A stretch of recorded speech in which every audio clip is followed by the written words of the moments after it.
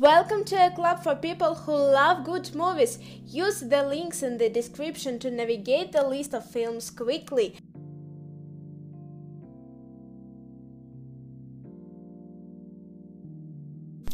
The Hangover.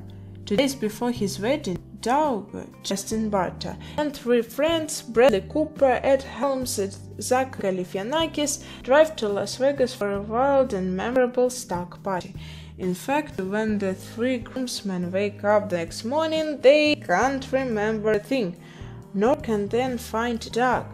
With a little time to spare, the three hazy bells try to retrace their steps and find Doug so they can get him back to Los Angeles in time to walk down the aisle. Guardians of Galaxy Brash space adventurer Peter Quill finds himself the quarry of relentless bounty hunters after he steals an orb coveted by Ronan, a powerful villain. To evade Ronan, Quill is forced into an USE truce with four desperate misfits. Gun-toting Rocket Raccoon, tree-like humanoid Groot, enigmatic Gamora, and vengeance-driven Drax the Destroyer. But when he discovers the orb's true power and the cosmic threat it poses, Quill must rely his ragtag group to save the universe. American Pie a and raunchy exploration of the most eagerly anticipated and most humiliating rite of adulthood, known as losing one's virginity.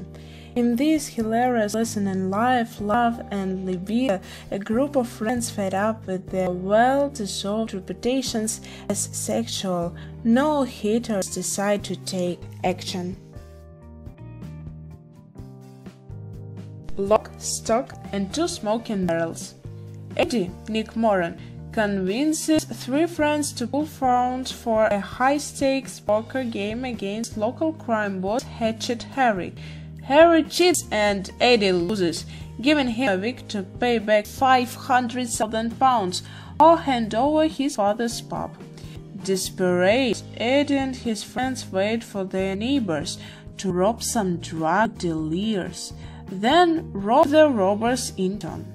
After both thefts, the number of interested criminal parties increases, with the four friends in dangerously over their heads. Paul.